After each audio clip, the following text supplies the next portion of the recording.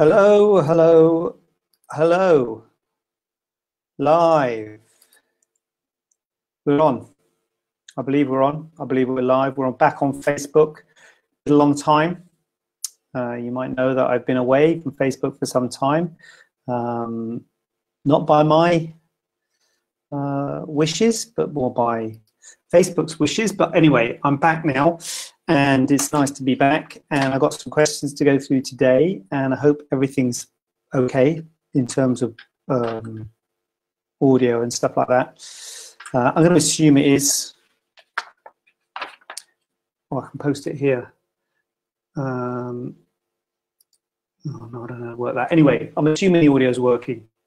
Hi, Shona. Can, is the audio working? Is the audio working, Shona? I'm going to assume it is. Is that a big assumption to make? Um, could put a note. I haven't planned this. Welcome back. So it's working. Is it work? Can can oh God? Can you hear me? Oh, came up like that. Can you hear me? Is the audio is is it working? The audio? I assume it is. I'm assuming it's working. Um, yes, we've got positivity. I thought outside there. It's my own reflection. Good, audio's working. So let's go. Let's do this. Let's do this. We prepared some questions. If you've got any questions, by, by all means ask uh, here and live. Um, good. Finally, we've got some. Thank you. Audio is working. Good. Um, so, yeah, here we go. Let's do this. Um, we have a question that says risks of local anesthesia. Did That wobble. All right. Risks of local anesthesia. Um, I think this is because people. I'm, I'm doing a case on Friday, a local anesthetic case, and this patient's sort of worried about it. Um, so there's not that much. Thanks, Sonia. Welcome back to me. Thank you. Um, well, thank you.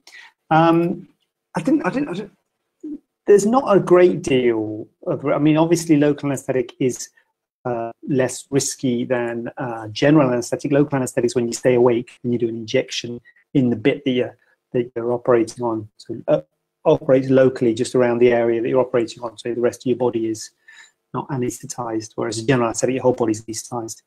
I don't know if I need to explain that. It's not obvious what local anesthetic is. So um, the point about local anesthetic is, is much less uh, risks than a, than a, general anesthetic. But I guess the main things, and I think the reason, the main thing people want to know about are things like sometimes it does knock you back. I think the whole procedure of a local anesthetic is quite stressful.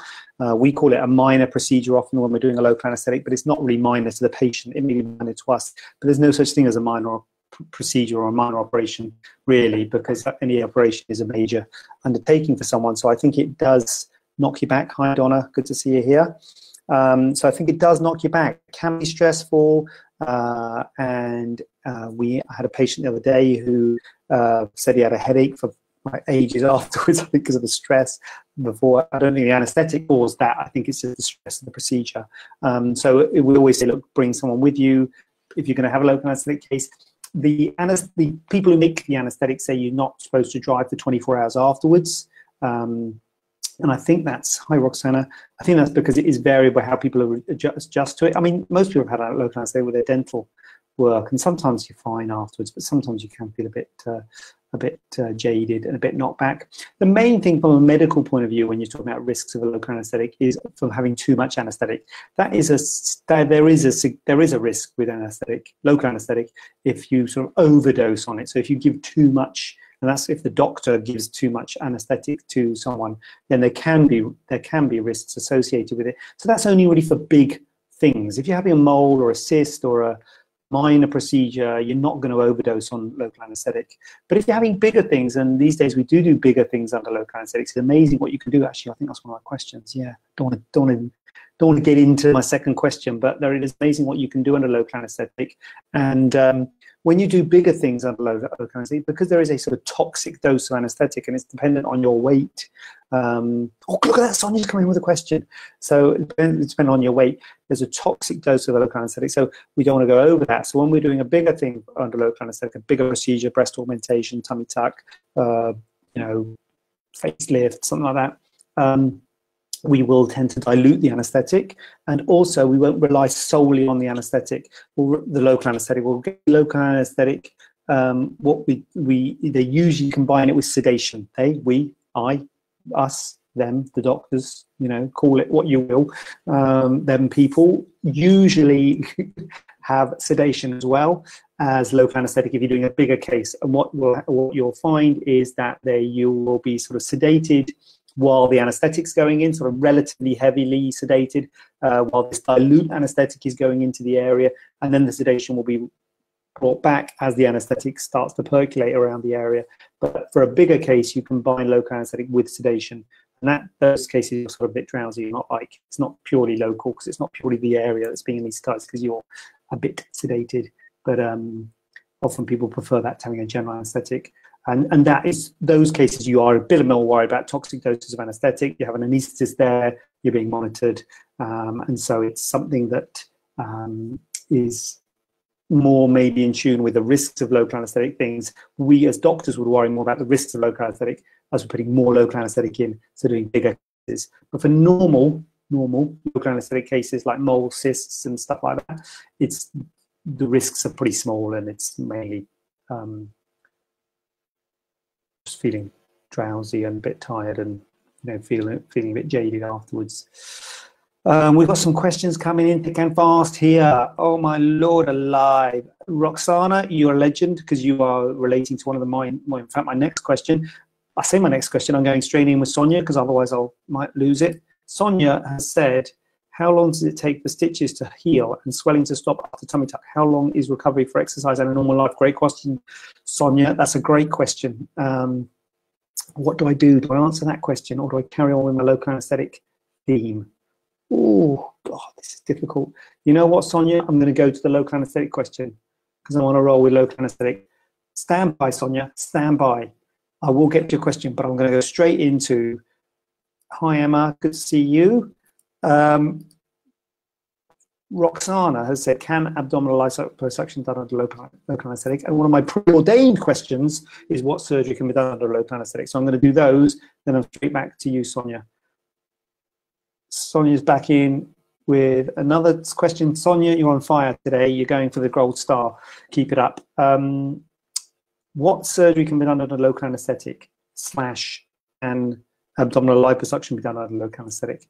So you'd be surprised. So as I say, pure local anesthetic, you are limited because you're limited to the amount of local anesthetic you can use. So you are limited to smaller procedures. So usually things like moles, cysts.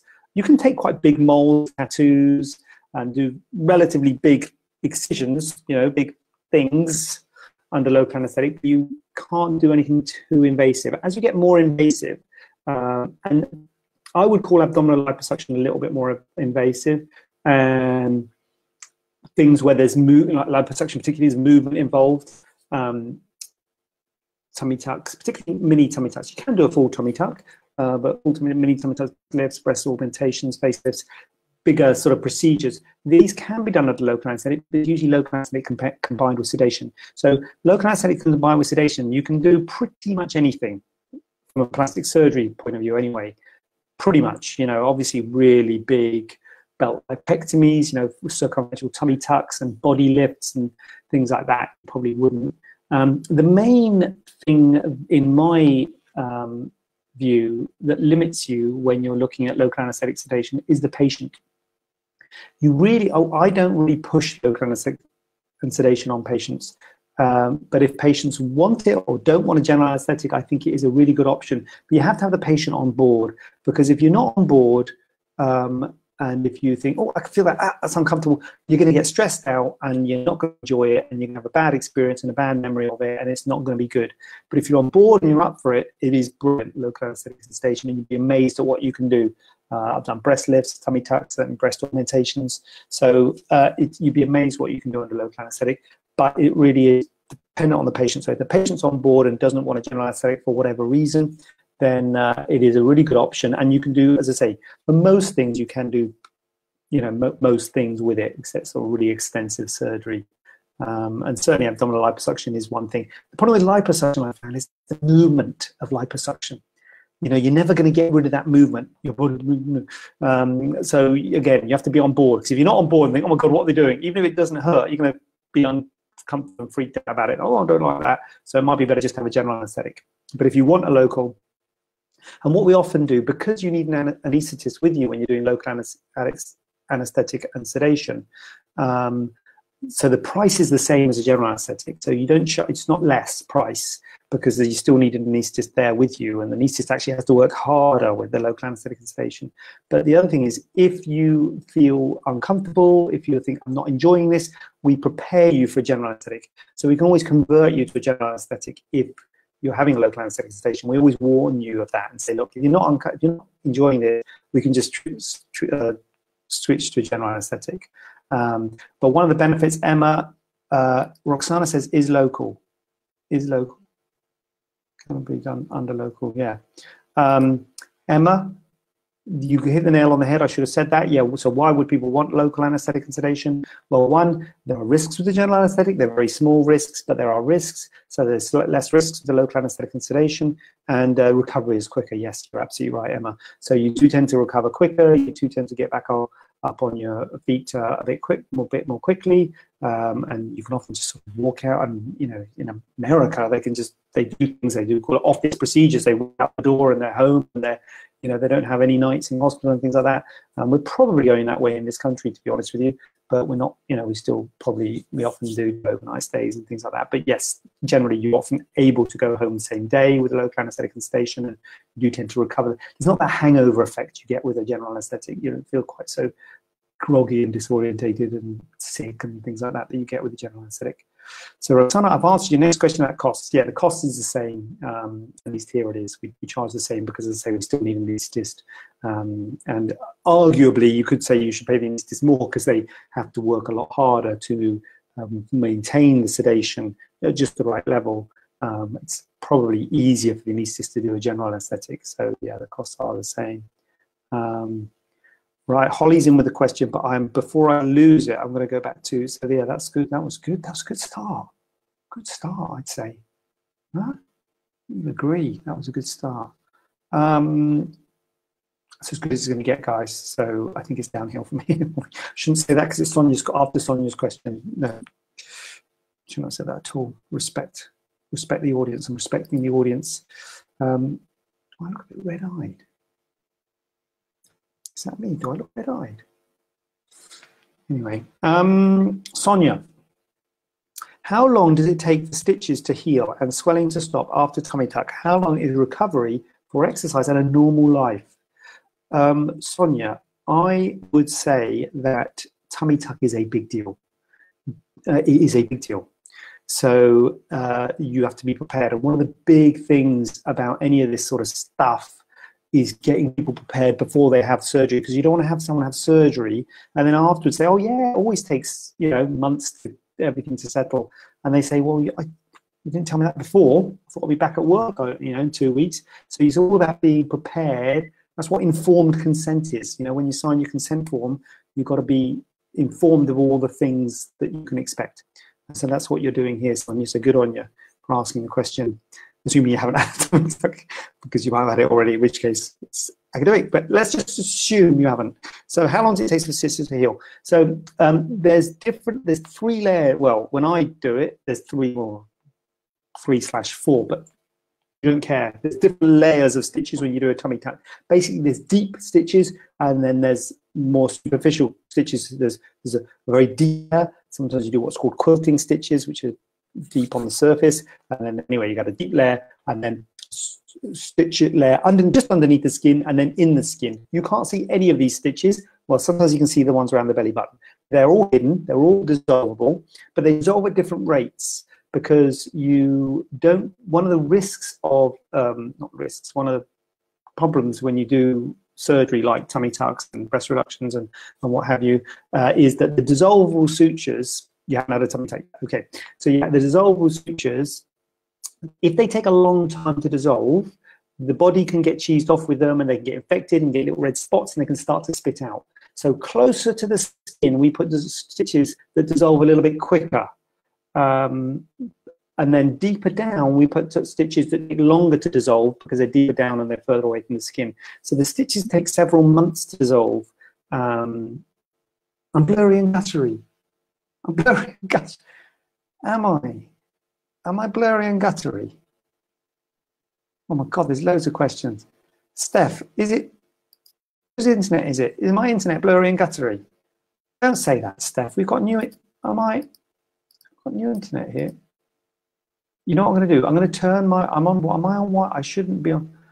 I'm going to do something because I think I'm, I think I'm, I think I should be on. Right, I'm going to do something controversial now. I'm going to, I'm going to turn my Wi-Fi off. Is it, is it blurry? Okay. Because I, why is it? I'm going to turn it off. So that might mean that I go. But I'm hoping it's going to mean that the Ethernet, because the Ethernet's plugged in, so it should go on Ethernet. Um, right, here goes. Three, two, one. I hope I'm still here. Am I still here? Has that worked? Am I still here? Am I still here? Am I on? Am I on Ethernet? Is that? Oh, Microsoft OneDrive. What? Am I still? Hello? Mic number one. Mic number one. It's blurry, says Sonia. Uh, am I? Am I still here though? Is it still working? Is that made it? You're here, but when you, flipping heck. Should have done it at home, shouldn't I? What? What? Still here, but it's blurry. We had new internet put in. So much for that. I think something else is going on. It's dropped. What can I do? Is it? Should I just carry on? I don't know what these buttons do. Edit agenda. Looks all right to me. She's just gone dark.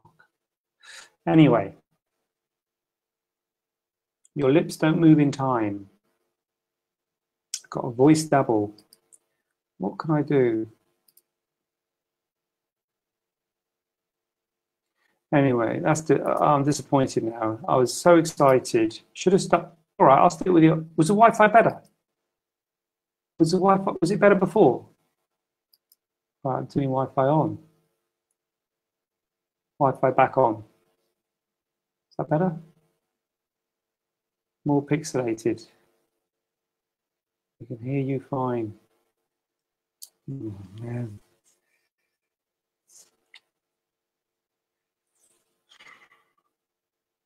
How's that? Turn the Wi-Fi. Can hear you. Okay, carry on. Yeah, you know, so much work goes into these, and then you get let down by technology. I've been preparing for this all day. You know, I'm excited. Been off Facebook for so long. Now I'm back. Now I get Wi-Fi. I didn't have this before. I did it at home before. I'm going to do it at home in future. This is what it's going to be like. This is the thanks I get. Nick, Wi-Fi. Ah, you know what? Am I on the wrong? Um, no, I think I'm on the right Wi-Fi. Ah, no, no, I'm on the wrong Wi-Fi. I'm on the wrong Wi-Fi. Stand by. Right, guys, I will answer. Right, I'm going to answer questions. I've got a plan. So let's answer a question while I'm doing this.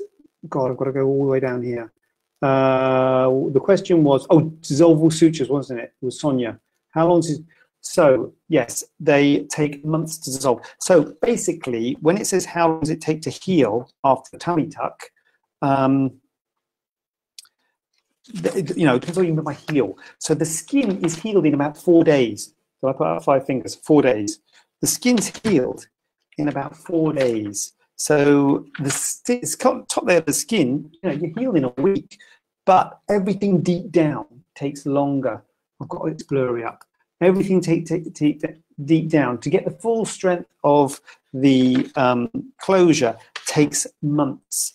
Um, so you're looking like six to eight weeks to get, you're never going to get the strength as full as it was before as normal skin. About six to eight weeks to get that strength in all the layers, all the deeper layers. Um, and that's why those sort of deeper sutures are holding it all together. So um, recovery for exercise. So I normally say the first week, um, professional, don't worry, don't worry. I know what I'm doing. Okay, I'm just giving my password because I think I'm on the wrong one. In fact, I might not need it. I'm going on a better pipe. I'm going to get a better Wi-Fi. Stand clear, stand clear. Boom. Talk to me. Talk to me. Talk to me. How's that? Is that better Wi-Fi? On, Wi-Fi. Huh? Is that better? That's what I'm talking about. Can't be good at everything. Ooh, how dare you? Good at, good at Wi-Fi and stuff. Know what I'm doing? Hmm? How's that? No? Is that not better? Have I done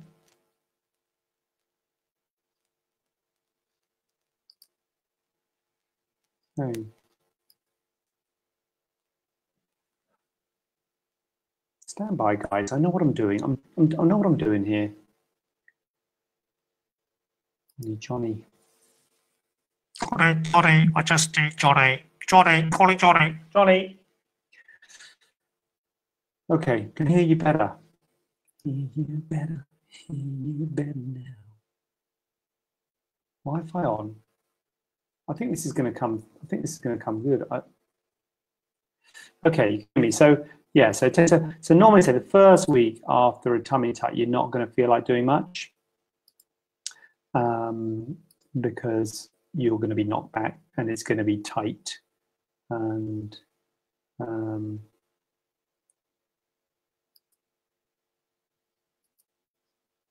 it's going to be tight and you're not going to feel like doing much. Second week, you're going to be feeling better. So you're going to be pottering around the house um, and um,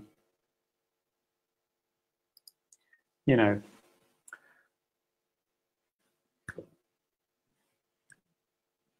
working, pottering around the house and um,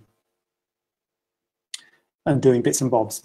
After the second week, I normally say you can start getting back into gentle stuff. Gentle stuff means things like um, walking, not running, obviously. Well, maybe not obviously, but walking, not running. Um, uh, like exercise bike, swimming. Swimming's really good. Um, you know, stuff like that. Um, gentle stuff. And a lot of it is, you know, listen to your body. Um, listen to your body and um, if it hurts, don't do it.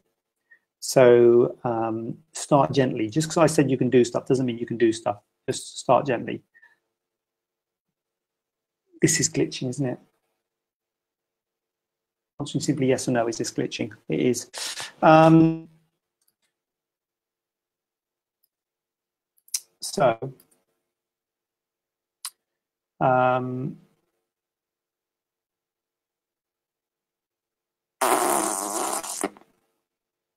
so, um, yeah, so I normally say that um, it takes after about well, uh, four to say six weeks with tummy tuck, um, you can start getting back into exercise with your core, with your with your abdomen. Um, a lot of this I don't need to tell you. You know, in the first few weeks, you're not going to feel like doing stuff with your abdomen, um, but after four to six weeks, then you can start doing stuff with your abdomen, and you can sort of gradually build up.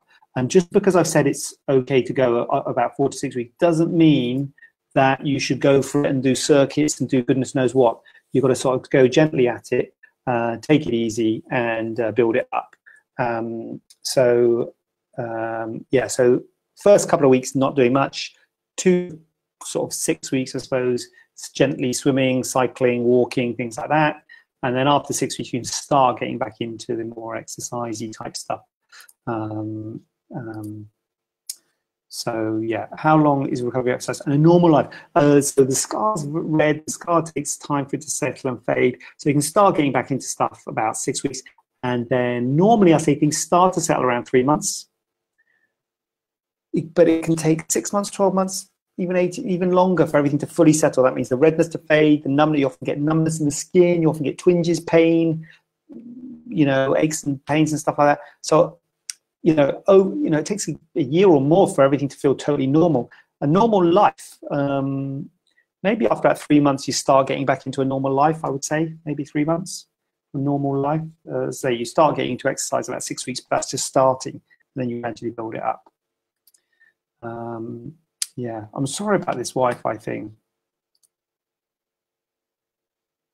Just got all this Wi-Fi stuff in the clinic, you know. Got a new Wi-Fi con Virgin connection. We got a new thing for Wi-Fi. Anyway, this is plugged in. This is Ethernet. I don't know why I shouldn't even use Wi-Fi, but I'm on Wi-Fi because he said it's better. Anyway.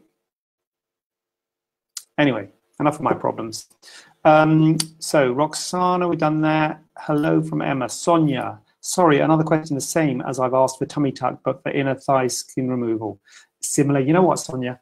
The stuff that I've just said, first week you not feel like doing much. Second week you start getting back into stuff, pottering around the house, doing computer stuff. After two weeks, gentle exercise with your lower body and things like that. And then four to six weeks for upper body stuff or for tension on the area stuff. It's the same for everything. Breast augmentation, you know, those ballpark figures are the same for everything. So uh, inner thigh skin removal, the same. All this stuff, you know, breast uh, breast augmentation, mastopexy, tummy tuck, uh, inner thigh skin removal, um, inner thigh skin removal, thigh lift. I think you're talking about that all this stuff is closing stuff tight. So you've got to be careful, basically. Um, most plastic surgery is tightening the skin. Age uh, rejuvenating surgery is tightening saggy skin, basically. So most of the surgery we do, we close wounds under tension. So you have to be careful with um, how you um, how you uh, um, mobilize and how much you do afterwards. So you don't want to put too much tension on it. So yeah, pretty similar uh, thigh skin removal. Uh, is it normal to have Holly, straight in Holly? Um, you know, I'm a little bit, uh, I'm, I'm a little bit upset about the blurriness, but you know, I'm gonna, did it go blurry? Anyway, what's this arrow up here? God. Oh Lord, can you see any of this? I can't see. Oh, good God, what have I done? Ooh, what have I done? Right, ignore that. So, Holly, Holly, nice to see you here tonight. Is it normal to have enlarged flanks six weeks post tummy tuck? How do you tell if swelling or fat? Um, yes, Holly, it is normal to have enlarged flanks six weeks post tummy tuck. You um, Question I would ask, I'm way behind on the questions, Holly, so I don't know if you've said this higher up. Your lips don't move into, oh, that's something else. Or, right, Holly, nope. What's nope? Oh, goodness me. Right, I'm just going to push on. Holly, uh, so the question I'd ask is, have you had liposuction to your, to your hips and flank area? Because obviously that's going to make things swell a bit more. Um, paradoxically, because you might say, what? I just had liposuction. Why is my hips and flanks look big? Because whole point of having liposuction is to make them small, but liposuction is quite traumatic and causes swelling. But even if you haven't had swelling, uh, even if you haven't had liposuction, you do get swelling in a tummy tuck and you might get swelling in your flanks. And six weeks post tummy tuck is quite early, Holly, because it's a balance. What I say to people is that when you first have surgery, you don't do anything because you're like, oh, it's really sore. And I'm not going to do anything. And then you start to feel a bit better and you start to do a bit more. And so what happens is obviously it swells because you have surgery, but you don't do anything, so the swelling goes down. But then you start to feel a bit better and you start to do stuff and the swelling goes up. So the swelling goes up and down. You think, oh crikey, I've done too much, I'm gonna back off and do less. So around six weeks is the time you start getting back into stuff, you know, getting back into the gym and you're probably feeling a bit better about yourself and you're feeling, oh, I can do stuff. But as you do stuff, you swell more. it's okay. Don't worry about it as long as you don't go overboard and if it doesn't hurt and stuff. If it hurts, back off. But if it doesn't hurt, it's good to get into things. But um, um, but it does it does swell, and it is normal at six weeks to have swelling. At six weeks, that is not. You know, I normally see people at six weeks. I see people at one week, six weeks, and, and you know, there's often swelling. There's often one's more than the other, and scars spread and all that stuff. Yeah, I normally say things start to settle around three months. Start to settle for three months. That's quite a long time, three months. So you're only halfway there. So yeah, it's absolutely fine. Uh, but it's oh, it's swollen at six weeks. Um, Roxana loves my live chats. Roxana, I'm, I feel I let you down with the blurriness, and I'm, I'm going to have a word with Johnny tomorrow. We'll see what we can do about that because I think it's. Well, I know I can do. I can do it from home because I was better at home, wasn't I? No, this problem at home. Anyway, um, I'm going to stop messing about with that. Donna, at what stage can I go swimming after tummy tuck? Basically, what well, Don, what I would say is, uh, in fact, I should have the disclaimer. Should have a disclaimer, shouldn't I? Yeah, I'll do that next time. Saying, you know, talk to your surgeon and do what your surgeon says. Don't do what I say, unless I'm your surgeon, obviously. In which case, do what I say. But um, talk to your surgeon is the thing, and do what your surgeon says. But in my um, uh, view, uh, the you have a uh, you have a dressing on. We take the dressing off a, a week uh, see, check your wound. Don't, normally don't give you a dressing after that. Sometimes you get a little pinprick of blood here and there. You might get a little bit that hasn't healed up properly. So give you a bit of, of gauze to wear inside your binder for a few days. When you take the binder off, the gauze just falls off and you have a look at the gauze. If it's got stuff on it, put another bit of gauze on. When that dries up and you don't need any more gauze, you can go swimming. So basically, when you don't need any dressing and you can wear underwear and you know stuff like that, and there's no stuff on the underwear, so your wound is closed, then you go swimming. So that's when you can go swimming after a tummy tuck. So I would say probably two to three weeks after a tummy tuck, probably, um, when everything's sort of uh, dry. Uh, now we're into the comments now where I'm all blustery. What can someone do to minimize risk of infection or complications from any surgery? Jade, that's a professional question. That's like a ringer. That's a ringer question. Jade, you're a ringer. You're like someone that I put out there, but if you were, I wouldn't say that. So clearly you're not, but that's a good question. Um, so I, I, I don't want to be airy fairy, Jade. I don't want to be make out as if I'm some kind of, you know, but I think positive mental attitude is really, really important. So being positive about stuff, you have to know about all the risks, all the complications, and we'll tell you all the bad things that can happen if you can have surgery. You have to know that because we go back to informed consent. You have to decide whether you're going to make, uh, whether you can have surgery or not. So it's important to have um, all the information as to whether you can have surgery or not. But once you've decided to have surgery, given that you know all the risks, um, because most surgery, certainly cosmetic surgery, risks are really small, you have to be positive about it. Don't focus on it. Don't go on about, oh, you know, I'm worried I'm going to get this or that. Um, you know, try and be positive about it. Try and think positively. Um, I think that is really important. Um, what else can you do? Look after yourself, stay fit, stay healthy, fresh fruit and veg, eat a good diet, good healthy diet. Obviously, you can have wounds there to heal. So you need good nutrients, good nutrition, vitamins, uh, minerals, and that's usually with a good, healthy, balanced diet. Don't smoke. Um, smoking is the bane of our lives, to be honest. I haven't got anything against smokers. It's fine. I understand it's a um, popular uh, pastime. All my family, well, not my family, but my father and my brother and all that sort of, they all smoke all the time. Um, so it's fine if you want to smoke, but don't smoke if you're having plastic surgery, because as I said earlier, everything's tight. And every time you take a cigarette, reduce the risk, you reduce the blood flow to your skin and you increase your risk of wound healing. So don't smoke.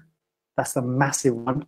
Um, uh, infection, mm, you have to be um, optimized. So if you've got any problems, certainly things like diabetes, um, high blood pressure, any sort of medical problems, these have to be optimized. You try and make them as good as they're going to get.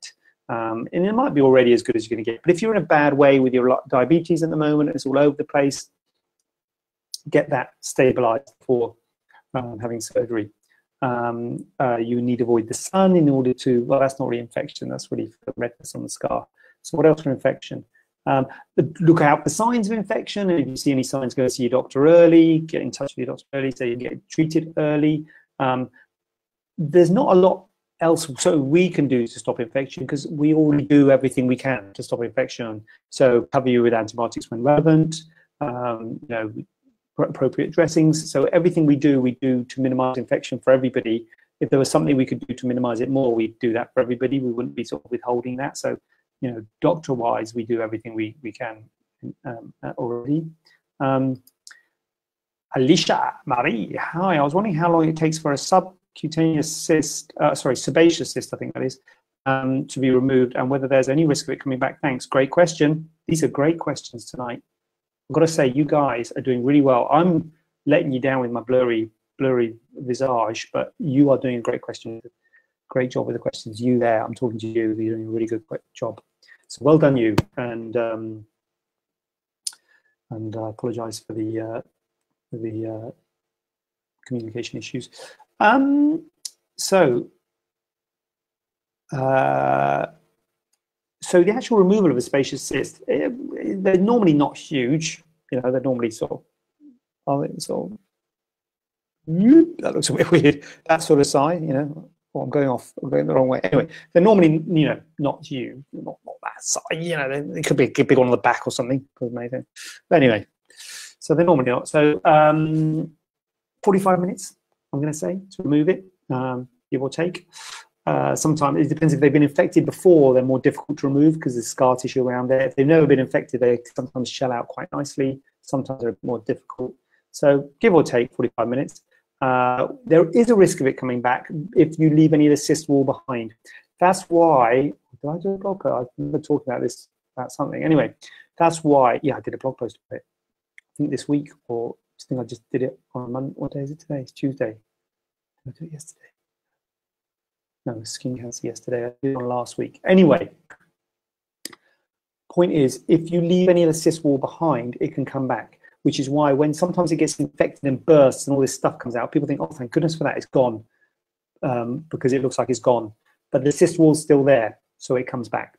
So the best way to, to, to not have it come back is to excise it, cut it out, which is a minor op. But what we need to do when we excise it is to make sure we get all of the cyst wall out. So if we leave any of the cyst wall behind, it can come back. So there is a risk, but we need to make sure we get all of it back out, to minimize it, chance of coming back.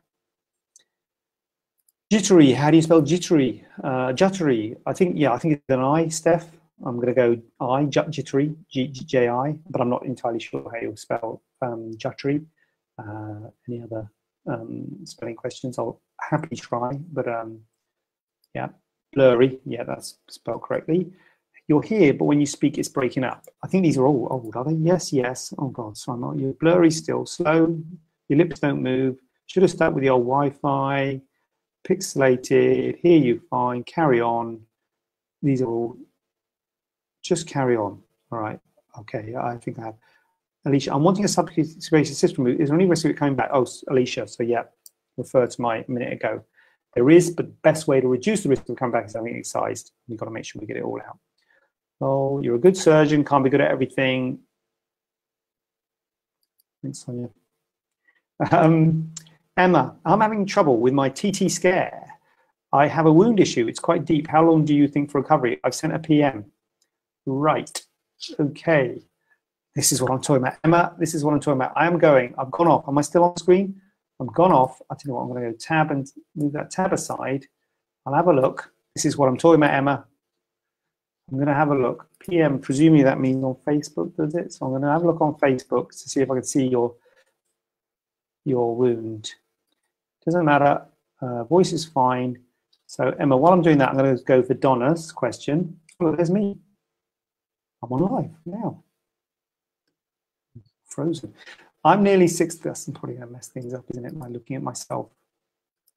Um, I'm nearly 60 years old and BMI 33. I'm scared to commit to a panectomy uh, because of my age. I have this morbid thought about the bit you cut off and throw away.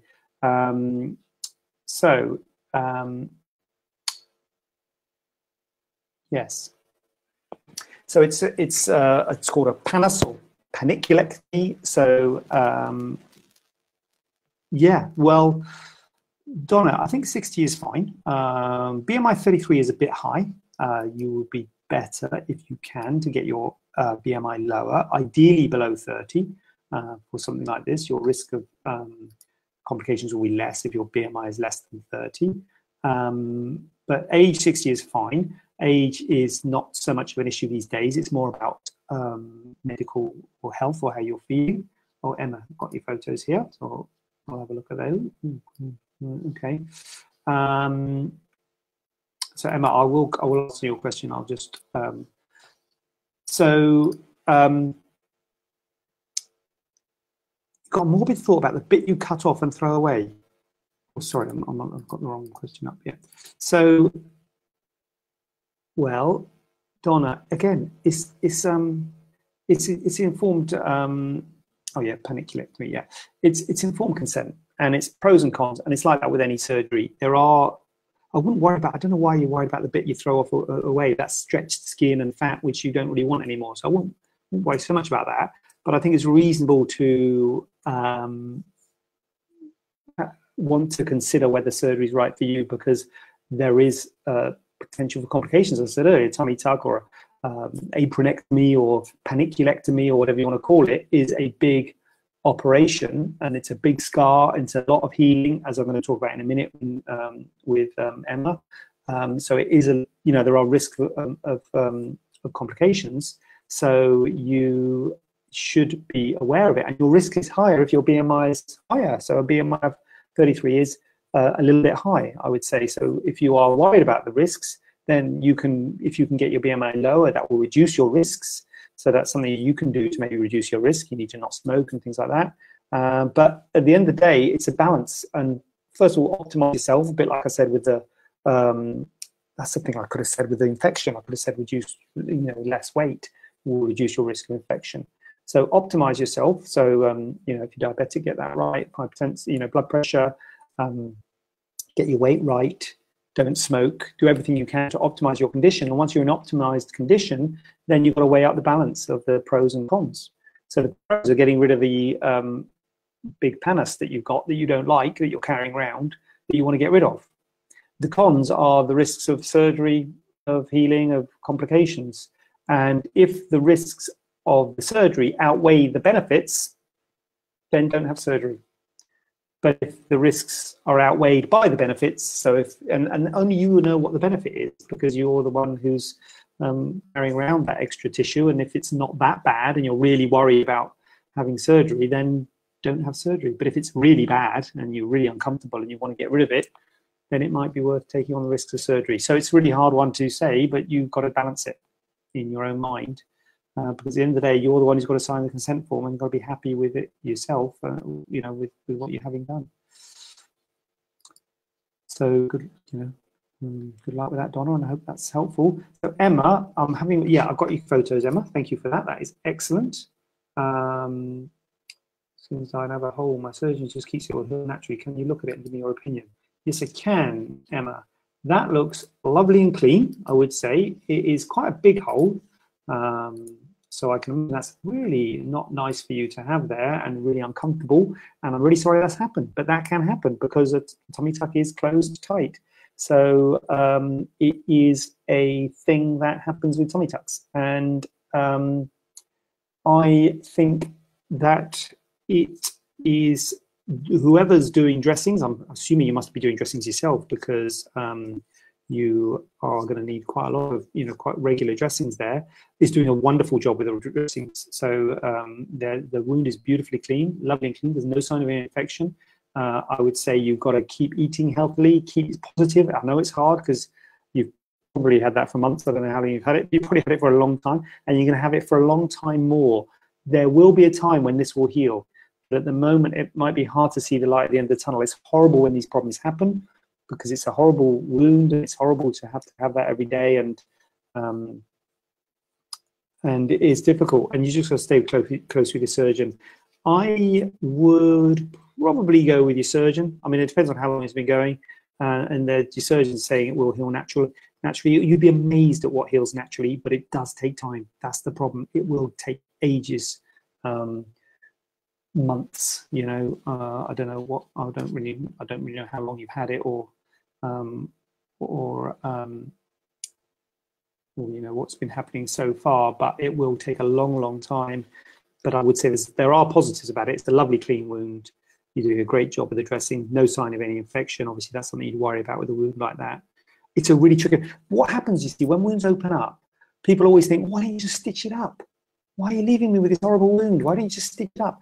But the problem is, it's opened up because it was stitched up really tight. And the body said, that's too tight, man. That's too tight. Boom, I'm going to open up. Oh, that's better. Now, if we stitch it up again, we're going to stitch it up tight again. What's going to stop it from? Because often what happens is, you know, often it's okay when you feel like you have the dressing off at a week and it sort of looks okay, or maybe the skin sometimes looks a bit dodgy, but you know, and then it boom opens up. So it's really hard to know what to do with that, um, uh, Emma. It's it's a hard one. It's um, I think your surgeons. I think I would be. I think it's reasonable what your surgeon's saying go with it, see how you get on. If you, um, it's, it's no easy answers because if you stitch it up, it could open up again. The other thing you could think about is things like skin grafting it, which might make it heal a bit quicker. Certainly, it's looking lovely. You want to be in the situation where it's healing. People often think, oh, it's not healing, you've got to do something. When it's not healing, you've got to get healing. So that means getting your, if you're diabetic, getting that sorted out. If you smoke, stop smoking. Emma, if you smoke, stop smoking right now, this minute, because um, that is not going to heal or it's going to take a hell of a lot longer to heal if you carry on smoking. I don't know if you do, I don't want to get you upset if you don't smoke, but you know, smoking is just a disaster for these sorts of things. Um, so, uh, I was saying, oh yeah, you've got to get it in a stage where it's healing. When it's in a stage when it's healing, if it's taking ages to heal, that's the time you'd think about maybe skin grafting or something to hurry it up. But if you skin graft it, you're probably going to want that skin graft excised at a later date. So you're going to probably need two operations. If you if you let it heal on its own, you might not need any more operations. The scar won't be as nice as we like in that area, but you might uh, just up with it, um, given what you've been through, or you could revise the scar at a later date. But it's a difficult problem, Emma. It's uh, I'm sorry you're going through it, and stick close to your surgeon work with your surgeon. I think you and uh, you and he or she are doing a lovely job with the with the wound at the moment, and uh, it's a difficult. You don't smoke. Sorry, sorry about the smoking thing then. Um, but um, yeah, stay positive, stay strong. But it's, I know it's hard. It's hard for the surgeon as well um, because it's hard when you get complications. It's one of the problems with this with this job. Um, so so yeah, that was good. That's good, Emma. Like that. Live. Um, I could on another. Well, I probably wouldn't have shown your photos because we don't want to upset anyone. But I, it's because uh, the people don't like wounds and things. But I can do talking to people and stuff. Oh, was that on Instagram? That was on Instagram. I think I can do it on this. I can talk to people. People can come on and talk, and I think I can share photos and stuff. Um, still hear you fine, just crap pick. Okay, can hear you fine. Sound is fine. Oh God, I, I can see. Here we go. Lisa, Lisa, Lisa in the house. Don't know if you're still here. I don't know how long ago you gave this comment, and I'm sorry if I'm behind on my questions. I'm considering breast enlargement. I'm so frightened of general anesthetic. The only thing stop me. Do you offer pre med? Yes. Um, yes, Lisa. Pre med's fine, but the only thing about pre med is the pre med is still um, you still have um, you still have a general anesthetic with the pre-med. Yeah, it doesn't just relax you before pre-med. The other thing, breast enlargement, Lisa, I don't know if you were earlier about the local anesthetic thing. You could have it a local anesthetic and sedation if you're really worried about um, general anesthetic. You do feel touch and movement and duri pokery, but um, it, you don't have a general. You, you, you, you're not fully awake. You are sedated, so you are quite tired, but it's an option if you're worried about general uh, anesthetic. Roxana, ladies, if you have muscle repair with the TT, week two of recovery, walking will be enough to exhaust you. Yeah, I mean, often you need muscle repair. And yeah, Roxana, you're absolutely right. Thank you for that. Um, it, it does knock you back and it, it can be uncomfortable. So often you get discomfort lower down because of the tummy tuck bit, which is tight, but you also get pain up here and discomfort up here because the muscles are often brought together and that can be uncomfortable. So um, nice one, Roxana. Big up yourself. Thank you for that. Donna is straight in here with a question. I had lipo to my back fat rolls. I'm five weeks post-op and they are still there. Will they go eventually? It should. It should they be gone by now? My binder makes them roll over the top, which doesn't help. Absolutely, Donna. Difficult area, isn't it, for the binder? Those back rolls, if they're up here, the binder, it's hard to get above it with the binder. With you on that, Donna. Um, one of the problems with liposuction is you do liposuction for a bulge, and often because it, liposuction is quite traumatic, it swells quite a lot afterwards, and you still got a bulge. And people say, well, still there, or it's worse. What have you done? Paid all this money, I still got a bulge um, because it is quite traumatic. But the idea, and you say, I promise, I have done something. Um, you know, there's taking fat out. Honestly, I'm, I'm not a charlatan. Um, but people often think, well, I haven't done anything. So there is swelling, and five weeks post-op on it is really early, really early. So don't worry, stay strong. Don't worry. It will. Oh, there was a question earlier. How do you tell swelling and fat? Oh yeah, didn't answer that question, did I? So basically, um, the swelling will get better and fat won't. You can't really tell by looking at it, to be honest with you, whether it's swelling or fat. It's just that if you're five weeks or six, I think the last earlier on was six weeks post-op, it's likely to be swelling. So stay positive, stay strong. I say things normally start to settle, start to settle at three months. So five weeks, you're nowhere near. And it is, a binder can help, but the problem with the binder, as you say, is if it's in this area here, the, the, the swelling or the area operates of above the binder, you can't get above it with a binder, so that can make the bit above the binder swell more. So it can be an issue, um, uh, Donna, to get to get uh, compression on there. So maybe a tight t-shirt or just well, stick with your surgeon first of all. Do what your surgeon says, but sometimes compressive t-shirts, like tight t-shirts and things might, or something else that might work to give you a bit of compression. Uh, Emily Morse's Scar. And then she says, thank you for taking time out of your day to talk to us. That's kind, Emily. Uh, uh, Emma. And I called you Emily. Sorry. sorry, but that is kind. It's, you're very welcome. And I'm sorry I'm glitchy. Um, Jade, I have read about the internal bra support with uplifts. Is this actually a thing? And what exactly is it? And how effective is this? Jade, I've done a blog post about this. Boom, right at you if I could do a link to it, I would blog it up on the website. I need a search facility on my website, don't I? But I'm sure if you type in internal bra mastopexy Staiano, you'll come up with my blog post. Um, it is a thing. It is a thing. Yeah, and it's a thing that is trying to keep the breast up there because the problem when you do a mastopexy, when you do a breast lift without an implant, you always put the breast, the implant, uh, you always put the tissue up there and then in time, gravity makes it settle. I'm not going to say sag because you're having the surgery because you don't want sag, you, you, to correct the sag. And mastopexy does create, correct the sag, but it does settle to what I call a natural result, which means a concavity in the upper pole. You don't have a convexity in the upper pole. You don't have a bulge in the upper pole. You can't get a bulge in your upper pole of your breast, the upper part of your breast, without an implant. Implants can give you a bulge up here, but natural breast tissue will always settle.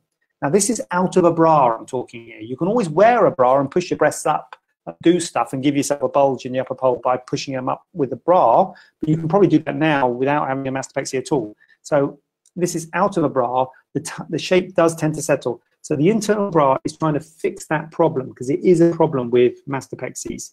And it, in that term, those terms, it is a good thing my personal view on the internal bra is that I have got reservations about it and I don't personally use it.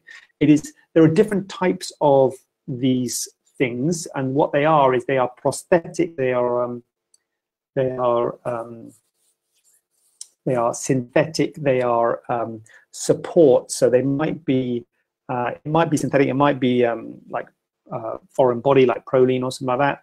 Um, like uh, something that's like an implant sort of thing, or sometimes you can use your own tissue, uh, not your own tissues, but tissues like a pig or um, uh, a cow dermis. So um, other animals' tissues. Uh, it's called a dermal matrix, a dermal template. Um, but basically, it's a foreign body. It's a foreign body, and it goes in like a hammock somehow. There's one that's like a hammock. There's one that's like a cone, and they go underneath the skin to support the breast and keep it up there.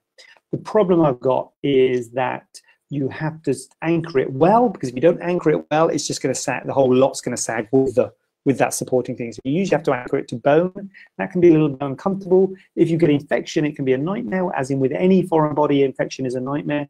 If you put a breast implant in, if it gets infected, you have to remove it. But with these things, because they sort of come incorporated into the tissues, it's even more of a nightmare to remove if they get infected although that's rare, but um, uh, you can get pain where they're bone anchored, and you do have to do quite a lot of dissection in order to put them in. You worry about the skin cover and what have you. So for me, they're not quite there yet. but I guess you have to talk to someone who do, does them a lot to see whether it's a, a viable thing for you. But it's not something that's been sort of widely adopted because I, I don't think they're quite there yet. But the concept is sound to support the breast and keep it up there. But for me, I just say to people in my hands, I'll say, look, if you have an uplift, I will make the sag better. I will bring the breast up to a better place, but in time it will settle and you will get a concavity in the upper pole, which is a more natural look. And I'll show them photos of it and I say, look, if you want fullness up there, you can't have it, or you have implants. But that's a big deal, having implants and a lift, and also implants make your breast bigger. So there's a whole can of worms there with implants. I'm not saying you should have implants, but that's the that's the other option. Sonia back in. Sonia, you're you are going for the uh, you are going for the gold scar here. What did I say? Scar? Did I just say gold scar? Can we just scrub that? Can we just roll back? Um, star, scar. Sorry. Um, what type of thigh surgery is available after a seven stone loss? Sonia, seven stone. Wow, that's a big one. I've got loose skin at the top of my inner thighs. Good question, Sonia. We've got some cracking questions tonight, not like usual. These are really good questions. Um, so, Sonia, two options really for your thigh. Um, one option is, um, so thigh lifts, which we're talking about here. Um, so thigh lifts you'll find are not that um, common. When you search for on online, you'll find loads about tummy tucks and mastopexies and facelifts, but thigh lifts you won't find much. And the reason for that is when you do tummy tucks and mastopexies and facelifts, you can hide the scar quite well. Um, the problem with thigh lift is there's two options. One is to put a scar in your groin crease, to pull the, the, the thigh skin, I come straight, to pull the thigh skin up. So if I'm pulling my trousers up, yeah? So you tighten the skin up and the scar goes in your groin crease. But that's not too um, Ban me again. Um, but you know, put, put the scar right in and pull the skin up and tighten the skin that way. The good thing about that is the scar's hidden because it's hidden in your groin crease. You can't see the scar at all. Uh, the bad thing is this bad place for healing because it's up in groin crease, hot, sweaty, risk of infection, risk of wound breakdown. There's a risk because you, whenever you do this, you're obviously closing it tight, like all the other things I've, uh, all the other sorts of uh, operations we talk about. The scar can migrate down. Um, but the main problem with it is it doesn't give a very good tightening of the skin because when you've got lax skin in your thigh, if you demonstrated to me what you wanted done, you would probably pinch your skin this way. You wouldn't pull it up this way. You'd probably pinch it this way. And if you're going to pinch it this way, you're going to get a scar. See that? I'm all blurry, aren't I? So you might not be able to see my. Anyway, you're going to get a scar going down the inner thigh. And that is a bit more obvious. Well, a lot more obvious. Not a bit more obvious. It's a lot more obvious. It's a big scar down your inner thigh. In my experience, I think that is the best way to do it. A big scar down the inner thigh. Now you aim for the scar to be hidden from the front of the back, but if you open your uh, knee out, you'll be able to see it. So people say, oh, I hate my thighs because I can't wear shorts and what have you. If you have a big scar there, you still might not be able to wear shorts because you might be um, you might be um, uh, conscious about the scar.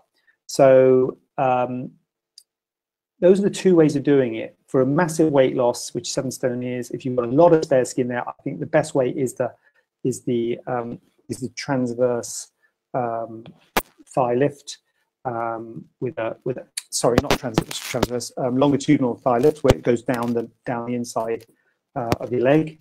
Um, so I think that is the best way to do it, but it goes a big long scar, and you might not be happy with that big long scar. But the other one where the scar is hidden gives less less of a lift and a more of a risk of wound healing problems and, and other sorts of issues. So those are the two main ways of doing a thigh lift, um, Sonia. Um, so Kath, Tees, I've got a procedure book with yourselves. Well done you, thank you for that, excellent. Can't wait to see you. To have two moles removed off my face. And what about scarring? Would makeup cover? How long will it take to heal? Yeah, so uh, if it's just a, a, mole, we were talking about earlier on about tummy tucks and stuff like that, how long it takes to heal. So a mole, that's usually just you know, it's normally not that tight. So if on your face, there'll be stitches in your face.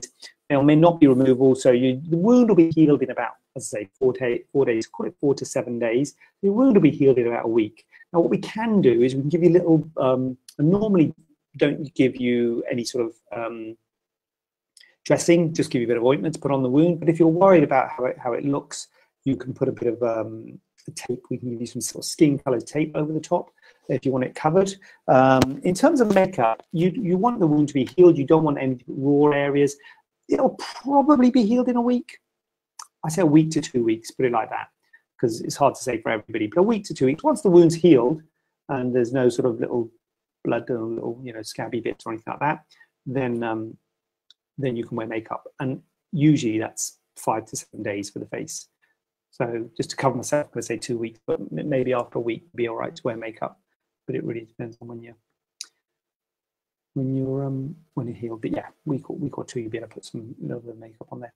Uh, we advise you to massage it after about six weeks, but you can put makeup on after about a week or. But again, speak. I don't know. Is it probably not me? Is it? So you better speak to whoever's doing it, uh, Kath. I don't want to get in trouble with them. Um, it will either be Kuran or Azam, but um, don't say that I've said this. You know, well, you can say that I've said that. Sure. What's best first? Tummy tuck or inner thigh? Good question, Sonia. Whichever bothers you more. You can do them both together. Um, whichever bothers you more, Sonia um, because uh, see how you go, get the worst one out of the way. Because if you have wound healing problems, issues, you think, oh my God, I'm not going to do surgery again. You know, do the one that would, if you could only have one, get that one done first. And then if that all goes really well, then you might say, okay, I'll go get that one done. But there's no um, benefit from doing one first the, rather than the other. You can do whichever one uh, makes you feel better. Sonia, thank you for Sonia. Thank you for asking the questions. Thank you, because that's, you know, always worries me. I'm going to get questions. Well, loads of questions today. Um, so that is excellent. So we've got a question here from someone who said, uh, we're going back to the um, ones in the, the bank. En bloc, total capsulectomy implant removal. That sounds, oh, who's the new surgeon, Jade? Um, so um, en bloc, I'll tell you in a minute. En bloc, total capsulectomy implant teaser wait, have to wait. En bloc, total capsulectomy implant removal. Uh, yeah, someone asked about this. En bloc. I mean, that sounds fancy, doesn't it? Honestly, you people, there's a problem with the internet. You get on the internet and you use all these terms like panniculectomy and other sorts of terms like, you know, I don't know. But anyway, technical terms. Um, you know, you learn all this stuff and blimey, you're going to do an en-bloc total capsulectomy at the time of the uh, implant removal. I, the bottom line is I wouldn't worry about this stuff so much. You know, I think you can worry, there's stuff you've got to worry about, whether you have surgery, the pros and cons and all that, choosing your surgeon and all that. But I wouldn't get into the technicalities of it too much. I think people do get into the technicalities of this these days quite a lot. And you think, you know, there's nothing's black or white. You try and someone says, oh, you've got to have an en-bloc total capsulectomy. You must have that, otherwise it's all terrible. Oh my God, I must have that. You know, well, if other people don't do an en-bloc total capsularity, why why why don't they? If that's the anyway. Anyway, so um, I will talk about it anyway. So so basically, when you what we're talking about here, in case you don't know what on earth I'm talking about, is a uh, when you have a breast implant, already implant in fact, but uh, usually we refer to breast implants when we're talking about capsulectomy. The implant gets walled off in scar tissue. Called scar tissue. It's called a capsule. Over time, that capsule contracts and goes hard and is uncomfortable, and so you might want a capsulectomy, which is uh, removing that capsule. And an en bloc total capsulectomy means that you remove the implant with the capsule in all in one one go. You remove it as one big ball. So you remove the whole shebang um, to make sure you don't leave any behind. But like when you do a cyst, you know, you don't want to leave any cyst wall behind. You do the whole lot to make sure you've got the whole lot out. You don't want to remove it piecemeal. And um, if you're just having an implant removal and not having it replaced, well, backtrack. If you want an en bloc total capsulectomy because you've read that's a good thing to do, fine. You can do it on. We can do it en bloc total capsulectomy, no problem at all. If you ask me what I would do, if someone hasn't got any problems, any symptoms, if they're not worried about the capsule, if there's any worry, if it's got swelling, a lump, we think there's any sinister about it, you would do an en bloc total capsulectomy and send all that capsule off to histology to have it checked over. If you weren't worried about it, personally, if you're just having the implants removed and not replaced, I would take a bit of the capsule, send it off for histology, but I wouldn't take all of the capsule out because it is quite a big deal to do a total capsulectomy, to take all of that capsule out. You leave quite a big, low, big raw surface. It's quite traumatic. It's quite uncomfortable. It bleeds quite a lot. And also, we always try and just take the capsule out. But you're inevitably going to take a little bit of breast tissue away. The more breast tissue you, you take away, you're going to take some volume out of that breast. Um, and so if you leave the capsule behind, then you're going to have more volume there. And if you're not putting another implant back in again, it doesn't matter because the capsule, you're not worried about capsular contracture anymore because you haven't got an implant. Capsule tissue is just scar tissue. So it's okay to leave. So if you're taking the implant out and not replacing implants, I would personally not do a total capsulectomy. And I think this is what this patient was asking about. So, but if you want one, I, you know, we can do one. If you're replacing implants, it's a different kettle of fish. Because if you're replacing implants, then there's the risk of another capsule coming around there. So you can discuss whether you have a total capsulectomy or partial capsulectomy or capsulotomy, because the more you do, so the more of a, the more capsule you remove, the more scar tissue you create. So the more scar tissue, the more, more quicker a capsule comes second time around. So you might, I often would do a total capsulectomy if I'm putting new implants in, especially if I'm changing the type of implants. So going from silicone to polyurethane, for instance, you don't want to do a total capsulectomy at that uh, in those circumstances. So I would often do a total capsulectomy if I'm putting new implants in again, although again, people do sometimes do partial capsulectomies because they feel it's too traumatic to take all of the capsule away.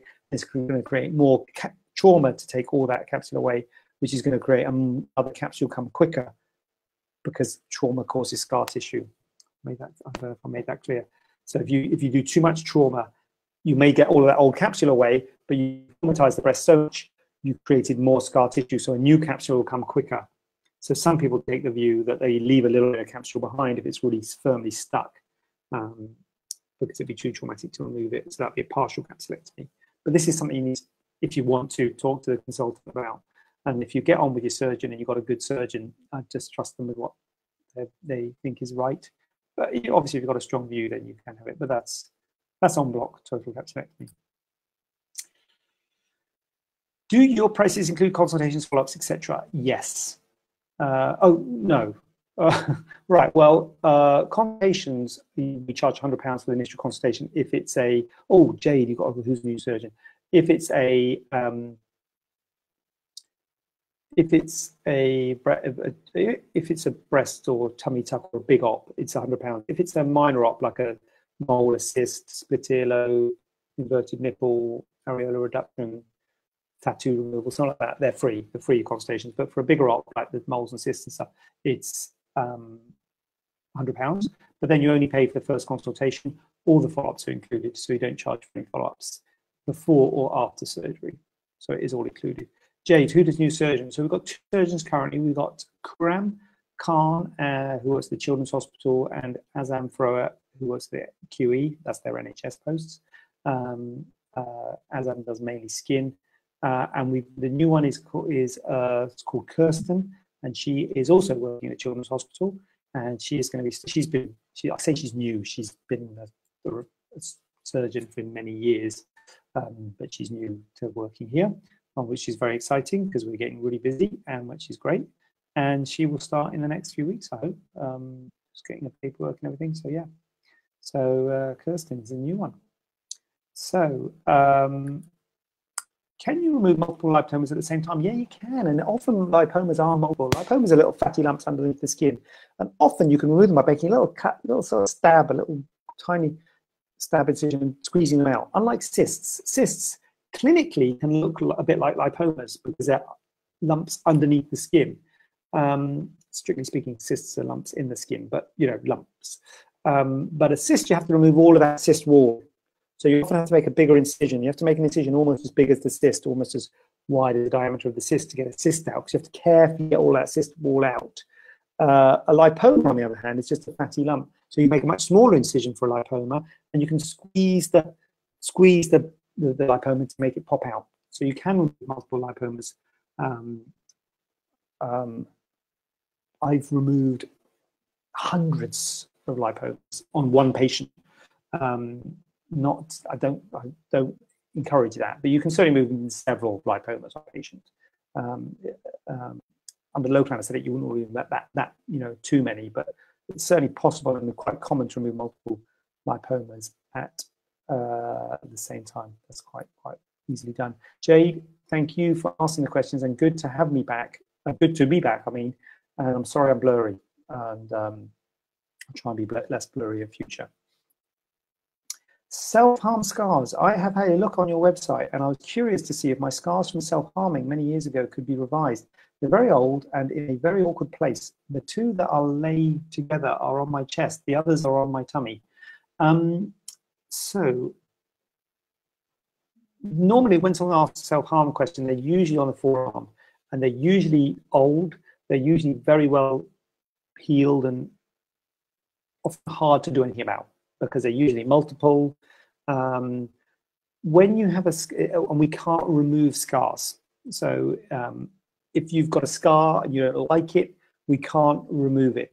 There has to be something about the scar that we can give you a different scar that's better than the scar you've got already. And often self-harm scars are actually, as scars go, good scars, but it's the um, psychological memory of what it is and what people perceive it to be when they see the, the scar that's the problem, and we can't do anything about that. So in those terms, it's usually cosmetic camouflage makeup, and we can't really do much about it. If the scar's stretched or dented in or raised up, there might be something we can do um, to fix those problems. This is a little bit different, this patient, because she says they're on her um, uh, chest and thigh, was it?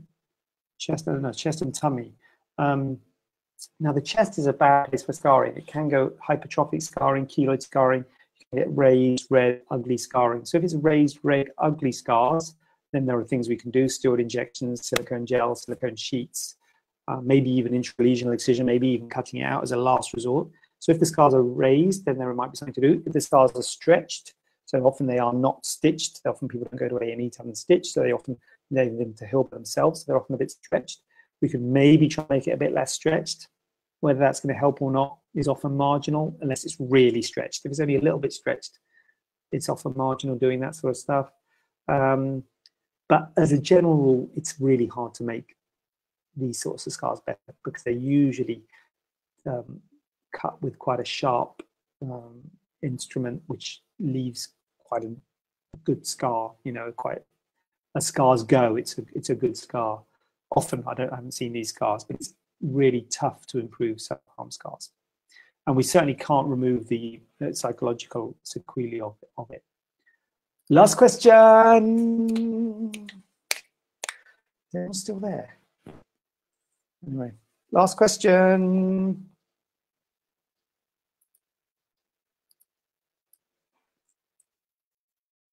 No, I'm going to put a roller. How do I do a roller? Oh, I forgot how to do this. Crawler. I'm going to do a crawler.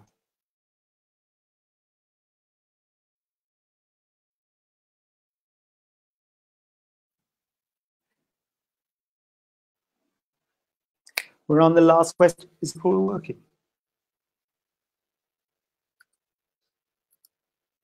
Does it work? Anyway, prepare this, shouldn't I? Okay.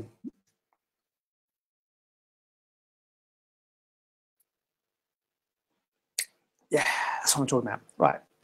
Last question. Oh, that was worthwhile. Um, right. Last question. Can all tattoos be removed by surgical excision? No. No, they can't. Some people are really, really um, surprised that tattoos can be removed by surgical excision at all. Some people think that only tattoos are two centimeters. I've heard people say, oh, and two centimeter tattoos can be removed. Where'd that come from? Basically, you've got to pinch the skin. If you can pinch the skin, you can you can cut it out. That's if it's a mole, if it's a birthmark, or if it's a tattoo. It doesn't matter. If you can pinch that bit of skin, you can cut it out. And so depending on where it is, you can pinch a bigger bit of skin in some places than others. So back of the hand, you might think, oh, I can pinch a lot of skin there. But you've got to remember, you've got to make a fist. As soon as you've got to make a fist, that, that skin tightens up.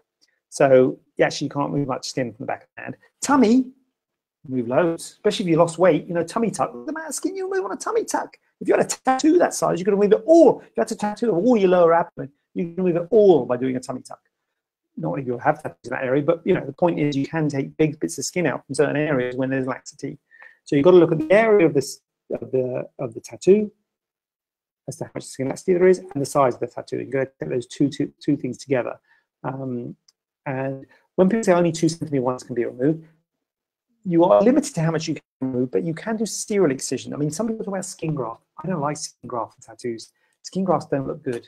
Um, skin grafts don't look like normal skin, so I don't think that's a good thing to do tattoo personally.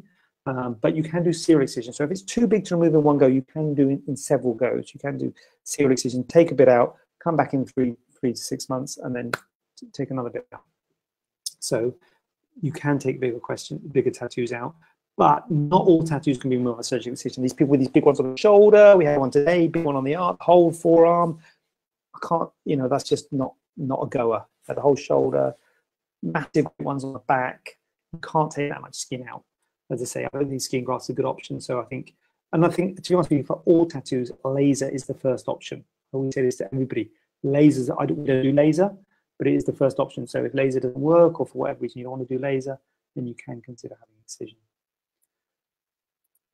I had a tattoo around my belly before tummy tuck. Oh, there you go. And did it get removed? There you go. Got a real life person there. Emma said it done. Emma, thank you for your comments. Good luck with everything. Hope everything goes well. Try and keep your chin up. I know it's hard. I know it's difficult. There will be an end to this. And I know probably on a daily basis you can't see an end, but it's it, it will come. And just stick close with your surgeon. I think you're doing a great job with the dressings, both you and your surgeon, and just stay positive. Keep fighting the fight. Right, thank you for that. Um, thank you. Oh, there we go. Thank you for your time and expertise. But you'd be glad to get home. Yeah, I've got to go pick up my, pick up my son. Actually, I'm to be late because of all my technical problems with internet. Anyway, um, right, I'm going to check out, and I'm going to see you next week right here. Assume I don't get banned again on Facebook, seven o'clock. Ask your questions, direct message me, or get in touch any way you want, and I'll be happy to ask you questions. And I'm going to end it here. Peace be with you, and have a nice evening.